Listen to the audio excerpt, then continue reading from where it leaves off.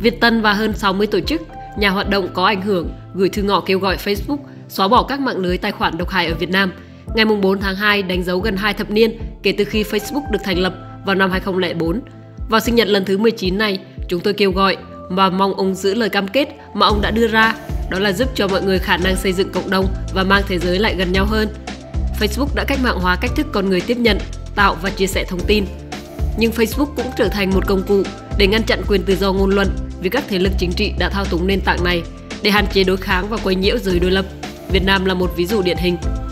Các mạng lưới tinh vi gồm các tài khoản Facebook ảo đồng loạt báo cáo tài khoản của các nhà hoạt động khiến nội dung của họ bị gỡ xuống và sử dụng các lập trình tự động bot để phổ biến hoàng loạt các thông tin sai lệch. Vào tháng 7 và tháng 12 năm 2021, Reuters đưa tin rằng Facebook đã xóa mạng lưới tài khoản tấn công các nhà hoạt động Việt Nam, chỉ trích chính phủ nước này.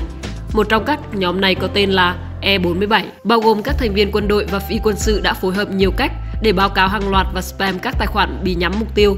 Nhóm này có liên hệ với lực lượng 47, đơn vị không gian mạng của quân đội Việt Nam, chịu trách nhiệm tuyên truyền tư tưởng Đảng Cộng sản Việt Nam trên không gian mạng từ năm 2016.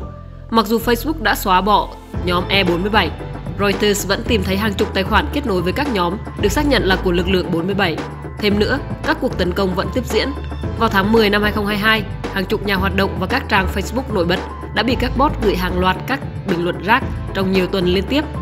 Do thuật toán của Facebook ưu tiên đề xuất các bài đăng nhận được nhiều bình luận, nên chiến thuật gửi hàng loạt bình luận rác giúp cho nội dung của các cuộc tấn công này lan rộng hơn, đưa thông tin sai lệch và các tác hại tương tác trên mạng xã hội.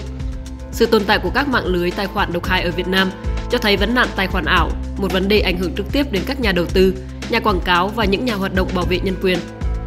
Các tài liệu nội bộ của Facebook do người tố giác Francis Haugen công bố đề cập đến sự tồn tại của 15 triệu tài khoản giả ở Việt Nam. Số lượng tài khoản giả to lớn này khiến cho con số thống kê 70 triệu người dùng Facebook tại Việt Nam không chính xác và dễ dàng gây thiệt hại cho các tài khoản thật thông qua chiêu thức báo cáo hàng loạt. Hơn nữa, việc sử dụng trang trại nhấp chuột để gia tăng khối lượng người theo dõi cho các trang và nhóm trên Facebook, tạo ra các tương tác giả mạo.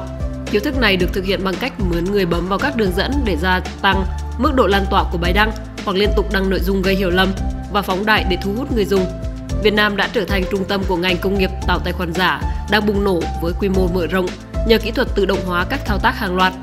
Năm ngoái, qua trường hợp của phong trào Kredenkin ở Đức, Facebook đã cho biết những người dùng thật có thể hợp tác với nhau gây hại xã hội dưới chính sách ngăn chặn hành động phối hợp gây hại xã hội. Facebook đã xóa các tài khoản, các trang, các nhóm liên quan đến phong trào này. Trong năm tới, chúng tôi kêu gọi ông giải quyết triệt để hành động phối hợp gây hại xã hội đang diễn ra trên Facebook, đặc biệt là ở Việt Nam. Cụ thể, chúng tôi đề nghị ông nên một Xóa hàng triệu tài khoản Facebook giả được báo cáo ở Việt Nam và xem xét thay đổi chính sách để ngăn chặn hành vi câu click trắng trợn. 2. Đóng các mạng lưới tham gia vào hoạt động phối hợp, báo cáo hàng loạt và các hành vi gây tác hại xã hội khác. 3. Cung cấp một phương thức để các nhà hoạt động, các nhà báo và những người dùng Việt Nam có thể khiếu nại. Việc gỡ bỏ nội dung và việc làm trực tiếp với nhân viên Facebook khi bị nhắm mục tiêu bởi các chiến dịch phối hợp hành động gây hại xã hội. Trong lúc phát triển thế giới ảo Metaverse cho tương lai, chúng tôi hy vọng ông sẽ cam kết bảo đảm các tương tác an toàn và xác thực trên nền tảng của mình ngày hôm nay.